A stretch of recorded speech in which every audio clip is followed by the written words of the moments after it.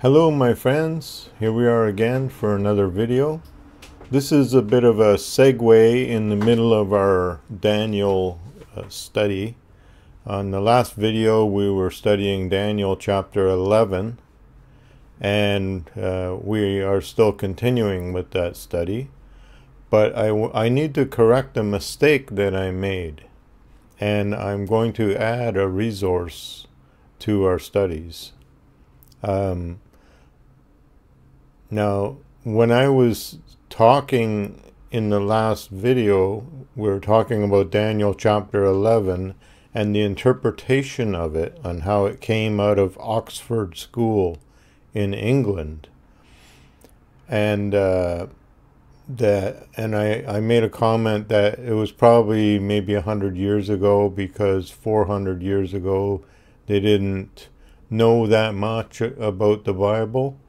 Well, I was uh, very wrong in that statement, and I want to correct it now.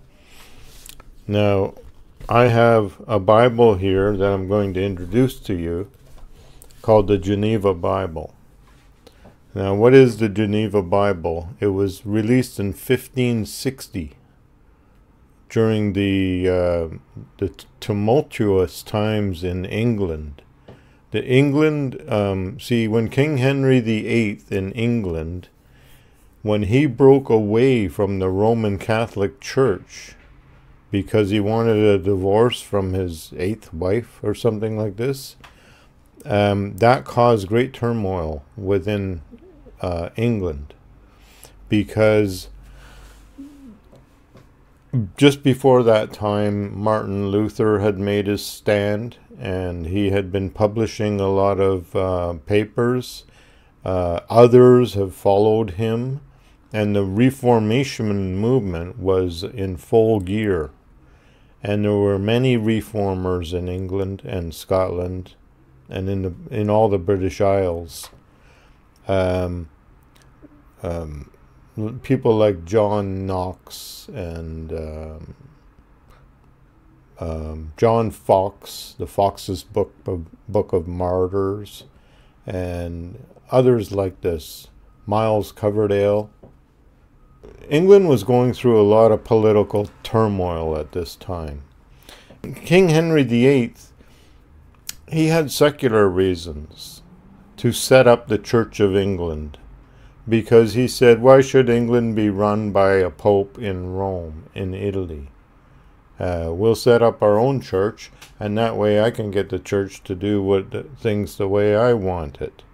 Now this uh, started the uh, Protestants who wanted to break away from Rome. That started a movement. That that was sort of the the the uh, infancy of the Puritan movement in England. And they wanted they, they wanted nothing more than to have a different church than Rome, one that they could run according to the scriptures, because the the, the biggest um, contention during the Reformation that the Protestants had was the scriptures were not being followed. They were being uh, set aside, um, set aside as a lower priority than than church traditions, and the Bible was being translated into different languages like German and Dutch and English by uh, much earlier by Wycliffe. And uh, people were able to read it. And so now they were able to criticize what the priest was teaching them about the Bible because they were saying the Bible doesn't say that. So this was causing this rift between the Protestants and the Romanists in those days. Now, since then, Rome has moved somewhat more in the direction of Protestantism as, as lifting the Bible up to a higher level than they had in those times.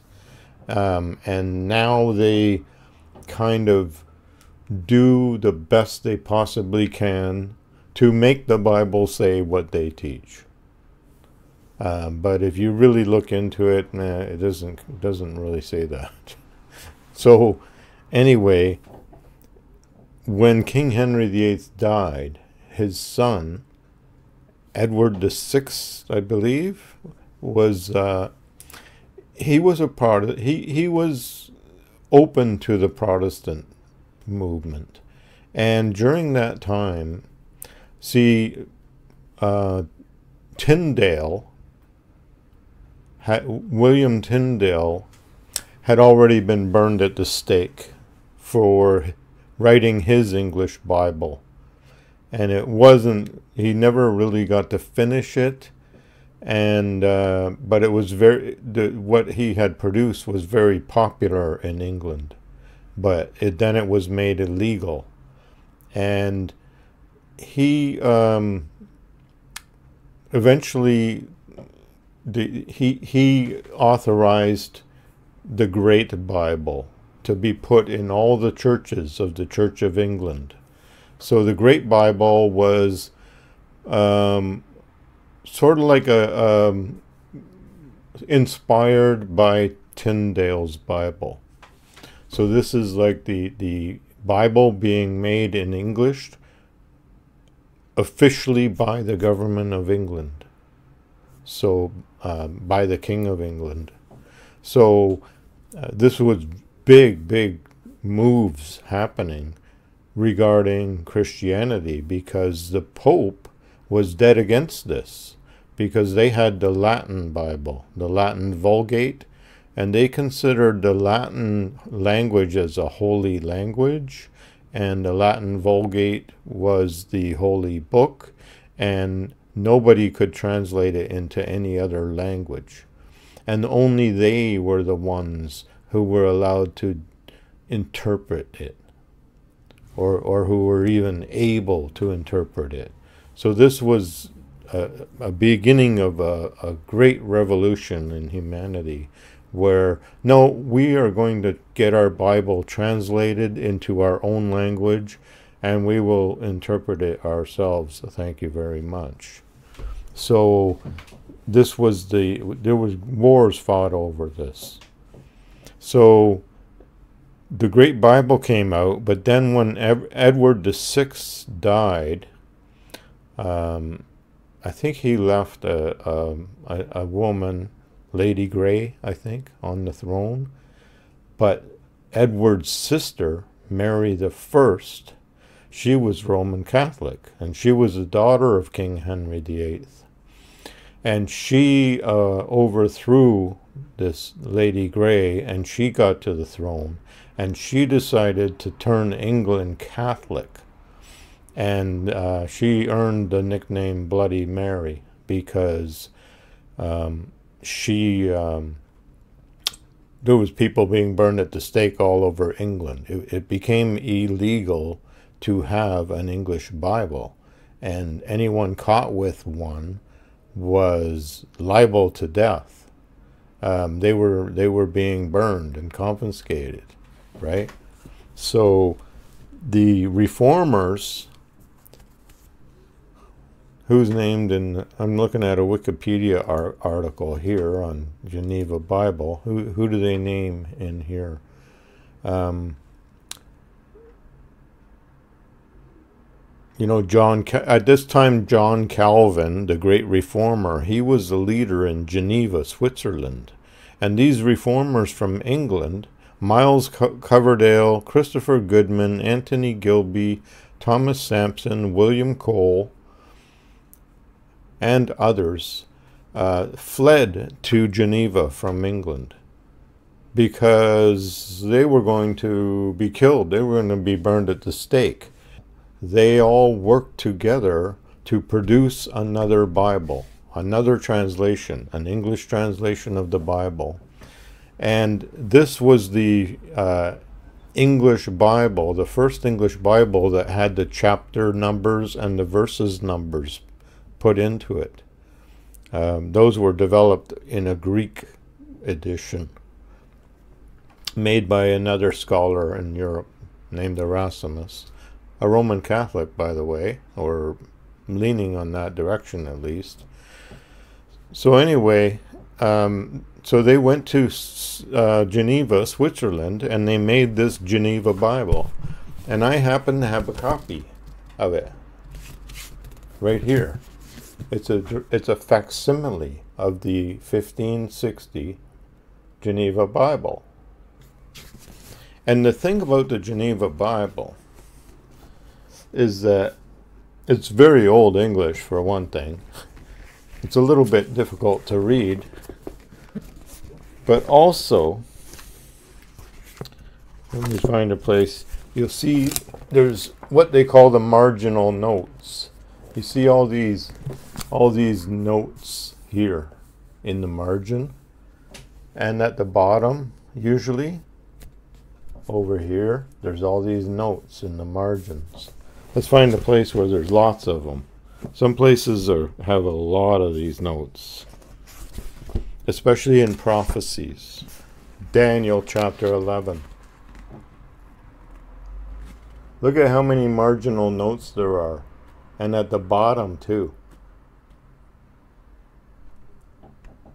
They they put they translated it into English, and the whole Bible has these notes written by the reformers by these reformers who were the beginning of the Puritan movement, basically.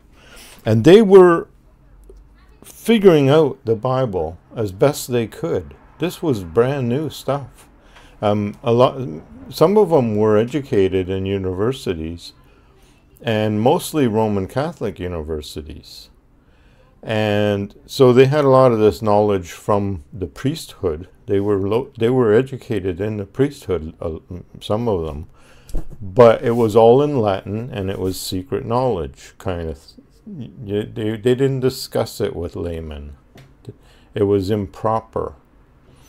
So they made this Bible with all these notes, and for Daniel chapter 11, I entered these notes from the Geneva Bible into my Bible because I wanted to compare them to see, like, what did they say in 1560? Literally 475 years ago. So here we are.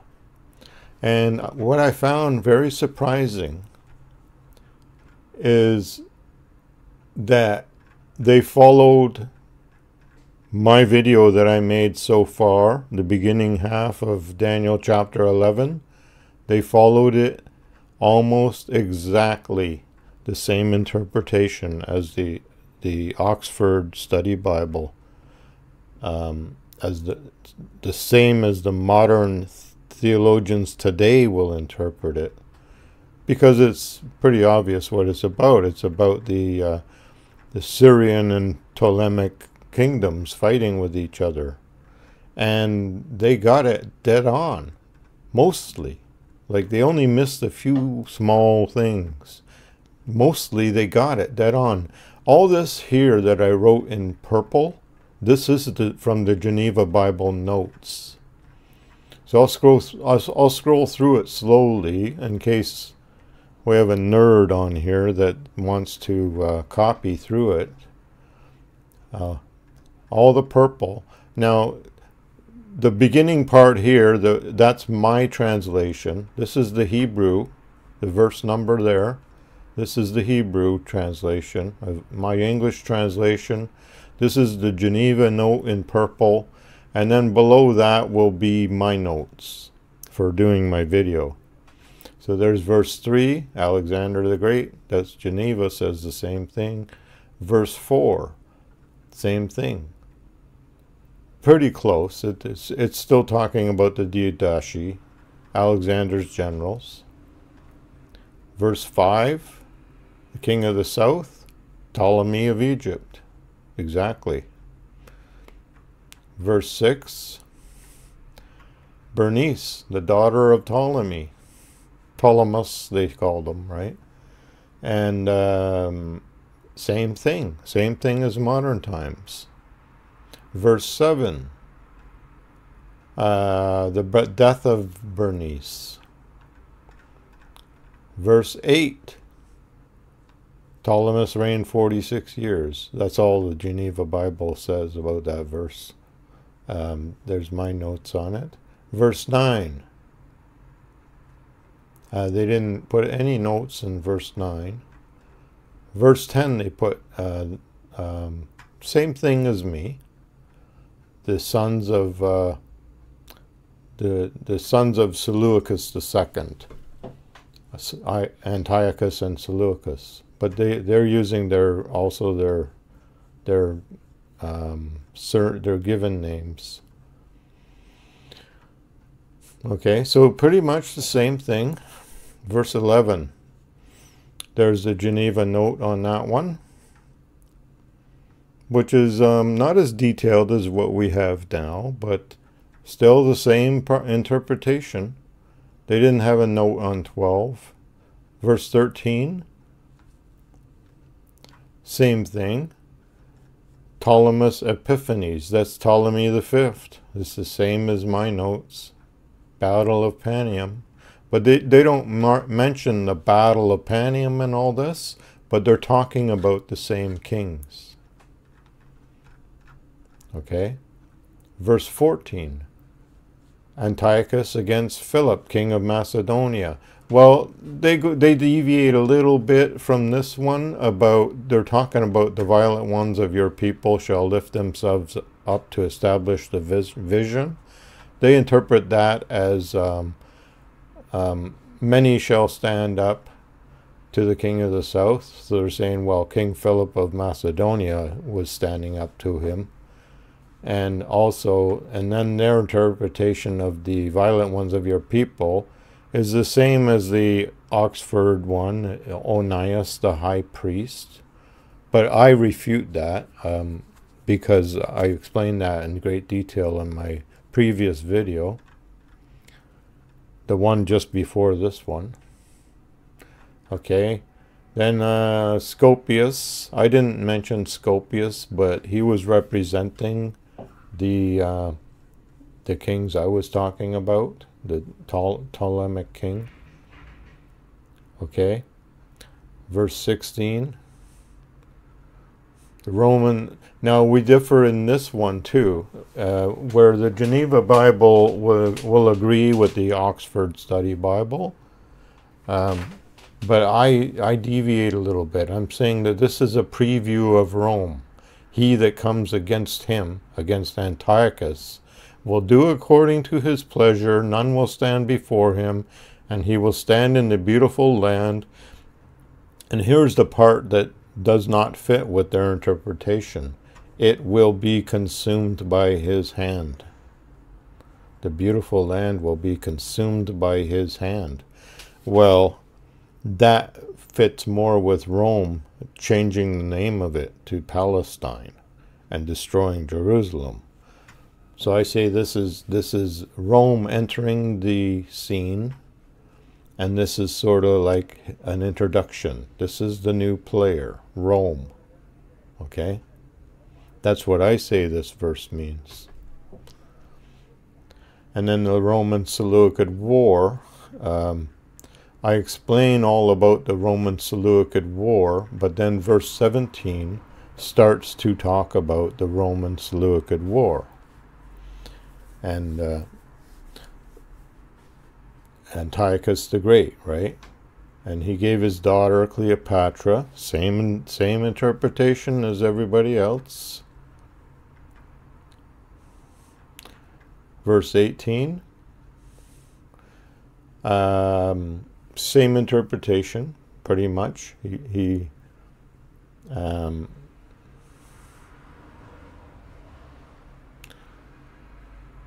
a little bit different here. I think this is closer to the Oxford interpretation too, where Antiochus had um, tried to embarrass the Roman counselors and ambassadors, but ended up getting embarrassed himself. Okay. It's still talking about the uh, Syrian Roman War. Okay. The first mention of the Romans in the Geneva notes. For fear of the Romans he shall flee. This is Antiochus the Great. For when, he, when as under the pretense of poverty he would have robbed the temple of Jupiter, Dodinus the countryman slew him. So then he he he uh, he died, and so it's still talking about um, the same interpretation as the death of Antiochus the Great. There's uh, Seleucus, um, and he was killed by treason, treason of his uh, treason of his um, Heliodorus, his servant, right? And this is when Antiochus Epiphanes enters the scene. There they name Antiochus Epiphanes in the Geneva Notes. He was a vile and cruel and flattering nature, and defrauded his brother's son of the kingdom, and usurped the kingdom without the consent of the people. So yeah, okay, they're right on board with that. Um, that's my interpretation. This is the next verse, verse 22. Um, with the arms of a flood, um, now I write, I, I, I had a little bit different view on this. Commentators apply this to Antiochus, as Geneva does. Um, and declaring war on um, Ptolemy the Sixth, declaring war on Antiochus the Sixth, um, and all that happened from there, and then the Prince of the Covenant. Uh, they call that uh, Ptolemy Philometor's son, who was this child's cousin, Germain. Cousin Germain means distant cousin. So Ptolemy Philometor's son was Antiochus' distant cousin. And he's called the Prince of the Covenant because he was the chief and all others followed his conduct. Well, that's a pretty weak interpretation where I interpret that differently. It'll be it's in my last video. Um, this is about where I ended my last video. So, you know, when we continue, we're going to continue looking at the Geneva interpretation, comparing it to mine, because I because I find this very interesting.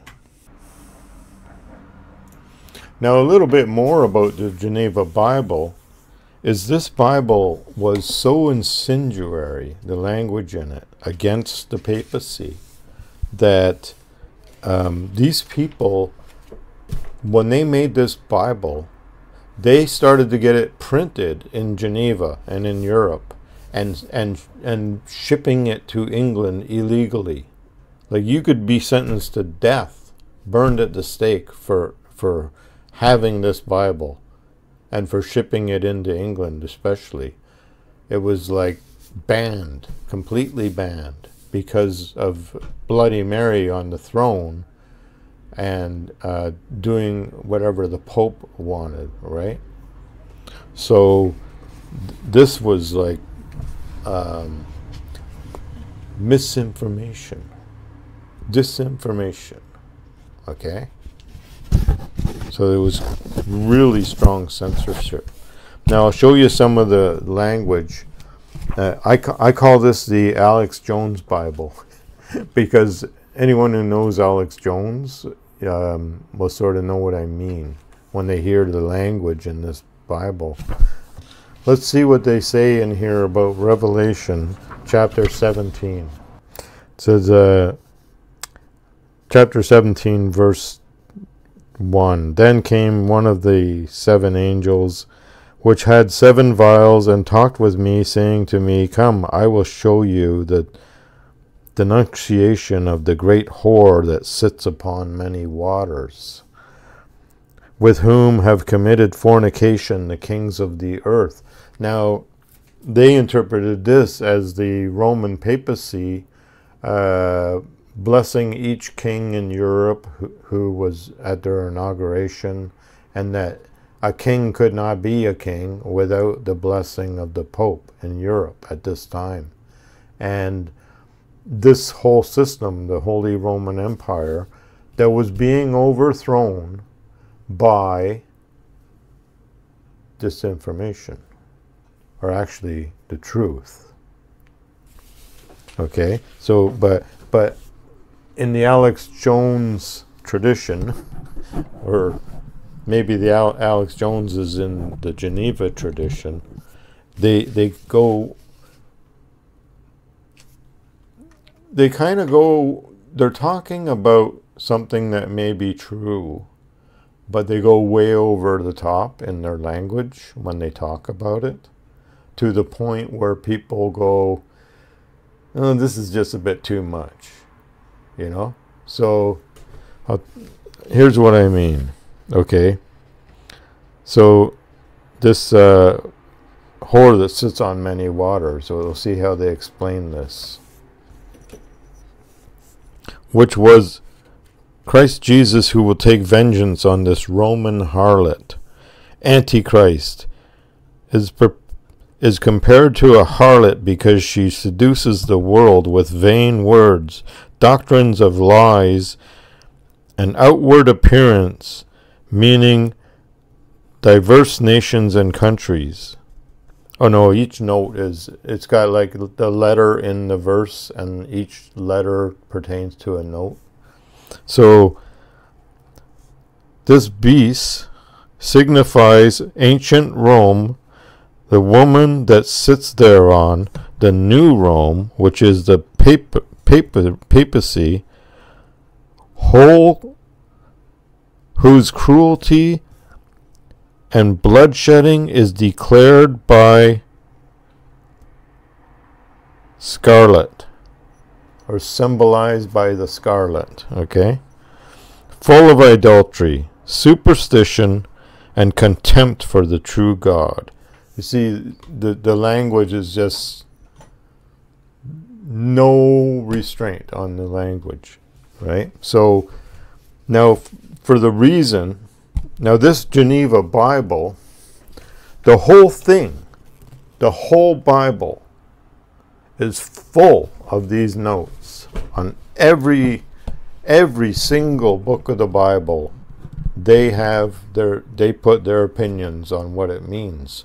And so it, when eventually when bloody mary was overcome and the geneva bible was allowed in england um, this was everywhere, and and this would this sort of began. This is the beginning of the Puritan movement, and they used to call this a, a, a university education in one book because you could read the whole Bible and you could read the notes on the side and they'll tell you what it means. And you would read about all these ancient kingdoms and all these all this history and all this stuff in these notes.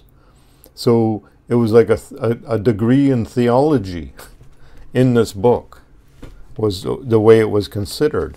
This book was brought to america on the mayflower. George washington was sworn in on this book Thomas Jefferson was sworn in on this book, on the Geneva Bible. Probably the first five, six, seven presidents were sworn in on the Geneva Bible. Now, in 16, um, was it? I think it's 1614 or something like that. The, that's when the King James Bible came out. When King James came to the throne, um, the, this book here, the notes in this book speak against popes and kings alike.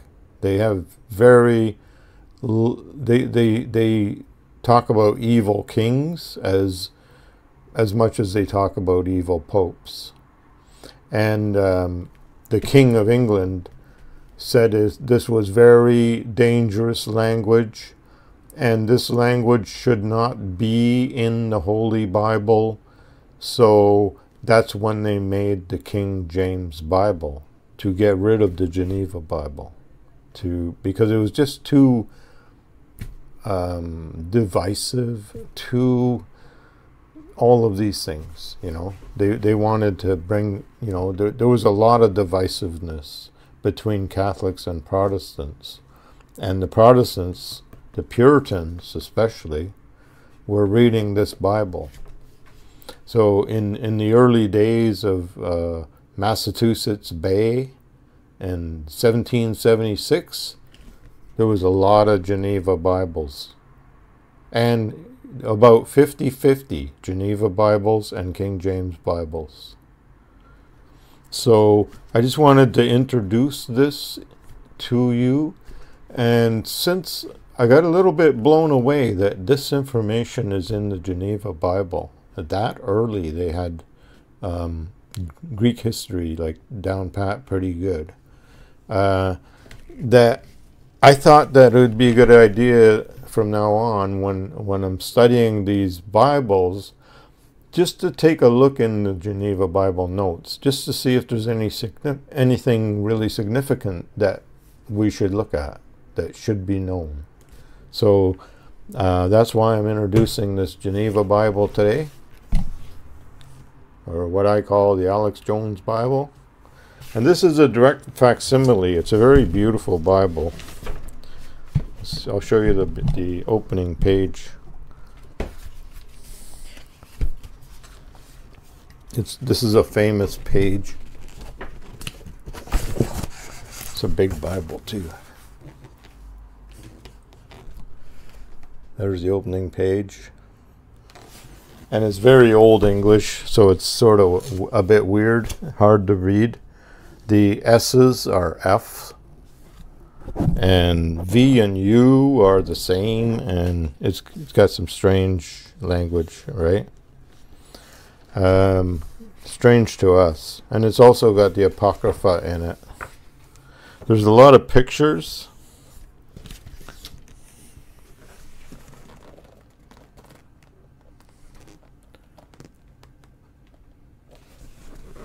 Um, woodcuts. And this this book here is a is a a, a facsimile, a, a direct copy of a 1560 Geneva Bible. Now this book here, because I guess it didn't sell as good as they'd hoped, it's no longer in print. It's no longer available. So again, it's become a this this has become a very rare Bible. But you can uh, find it online on uh, for free. You just Google it, Geneva 1560 Bible, if you want to take a look at it. So, thank you very much for listening. And um, it's a little bit of Christian history there for you. And uh, we will continue in the next video with our study of Daniel chapter 11 from where we left off and we'll also I've all I've already added the Geneva notes into just to reference it and see what did they what did they say about it? What did they think of it?